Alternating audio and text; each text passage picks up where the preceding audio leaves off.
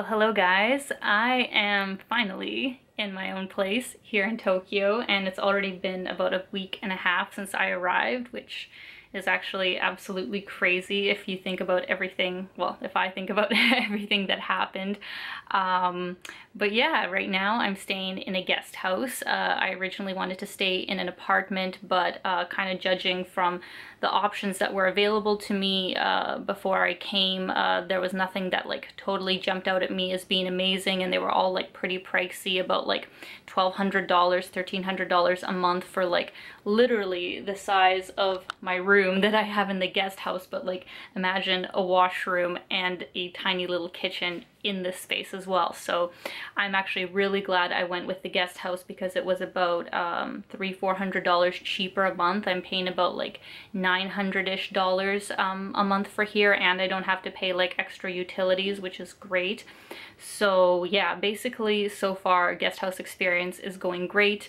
Uh, the people that live here, I honestly don't even see that much, but the ones that I have seen are super nice, super chill people. Yeah, I mean, just to kind of catch you guys up on what's been happening, I mean, uh, my agency is amazing. I'm so glad I decided to go back with my manager that I had uh, three, four years ago. Um, he opened his own agency here called Schoenberg Models, so it's a contract agency, and I've really enjoyed uh, working with him and uh, my uh, other manager, Aki, who is super cool and all the girls in the agency are really nice. So that's kind of like a win-win situation where everybody's just, you know, super professional, super positive people and you can kind of just like enjoy each day going to castings. And, and I actually already booked uh, my first job, which is a commercial and it'll be uh, shooting this next Tuesday, which I'm super excited for. So hopefully more and more jobs keep rolling in. And yeah, it's just been amazing to kind of be back in the city to catch up with all my friends here. Like walking around Tokyo has been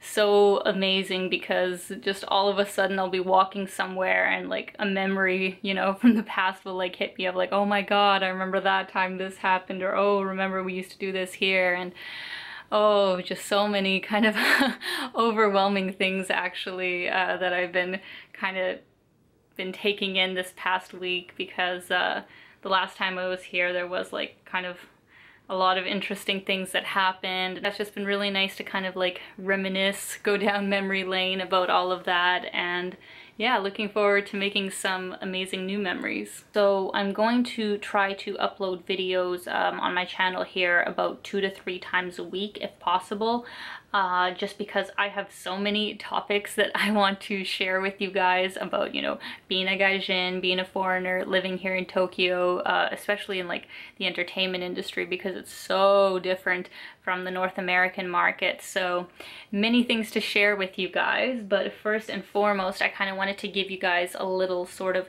tour of my room if you are ever thinking of coming to Tokyo. Like I said, I would highly recommend this guest house option. This is my room. It's a little bit uh, crazy looking because I do have so much stuff and this is just the best way that I found to arrange everything. But basically I have a dresser that I have so much stuff on for all my beauty products and stuff like that. I have my vision board that I brought all the way uh, from Canada. Over here I have my workout stuff, some cleaning supplies.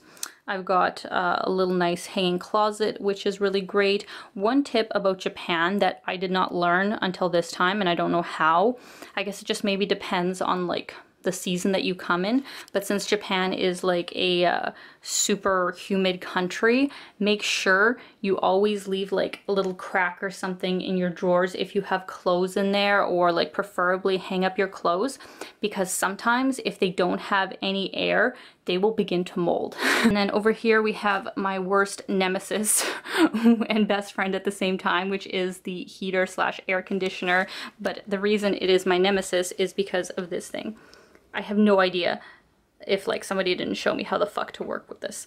Like I was in that other apartment and I had no idea how to work it. Thank God it wasn't cold because all these random buttons, I try so many different things, nothing works. So thankfully somebody showed me how to use it and now I basically have a grip on it.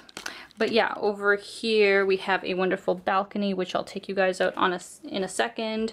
We have my bed, which is actually super comfy. And then this is really nice where I kind of have like a coat rack or slash purse rack that I have made it into. We have the balcony and it's actually really interesting. I'm kind of living in between um, Hiroo and Ebisu, if anybody knows where that is, and this is like a really residential area. So we have like some houses over here, we have an apartment complex. This is our garden for the guest house here, which is actually really nice. We even have like a barbecue, if you can see. And then over here we have a tree of my absolutely favorite fruit. So I'm going to probably steal them all once they're ripe, which is uh, persimmons, or I don't even know how to say them, persimmons, persimmons, whatever they're called. But yeah, the orange fruit that looks like a tomato, which is absolutely delicious. Just give you guys a little tour of the rest of the guest house, just so you can kind of get an idea of what to expect if you stay at one.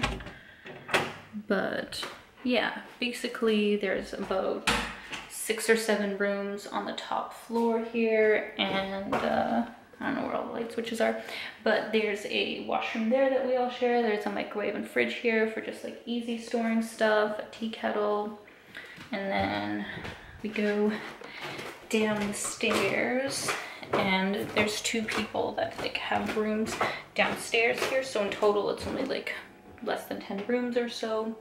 We have our boot rack over here.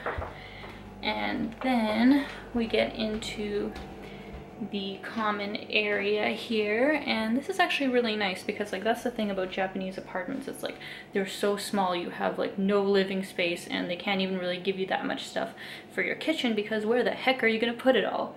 So over here we have two big fridges and it's actually kind of nice because nobody even like really puts like labels on their stuff. Everybody's just been like really good about just not taking what's not yours. And then we have a shelf for pantry kind of stuff. We have a whole bunch of uh, dishes and appliances that I have no idea how to use. I have to have somebody teach me how to use it because it's like, I really want to use the rice cooker, but I have no idea how to use it. So I'm wondering if maybe there's like an app on your phone that you can maybe like scan kanji and then it can tell me like what it is because I don't want to have to like go bother people every time I want to use an appliance but yeah that is going to be an interesting challenge for me and then yeah over here we have the garden which is actually really nice and there's a really cute cat that lives there and I've been trying to make friends with him but he's been ignoring me. Yeah, here is the garden super cute, super nice, very rare in Japan. And then yeah, like I said, we have a barbecue even, and we have a washing machine, which is thankfully super easy to use. Alina friendly, you just put in your money, close the lid, and you're all good to go. But yeah, I hope you guys enjoyed this video, and if you are coming to Tokyo, maybe you will consider to stay in a guest house, because like I said, I highly recommend it. Definitely a fantastic option if you're staying here for at least a month or so, way cheaper than a hostel, and you get your own room, which is really nice. But yeah, I'm super excited to show you guys Tokyo, to kind of give you the inside scoop of what it's like being a gaijin model actress living here in Tokyo, so I'm sure lots of amazing adventures are yet to come, so hopefully you guys will tune in next time, but until then, I hope you're having a splendid day, keep being your own kind of beautiful, and I will see you soon. Bye guys.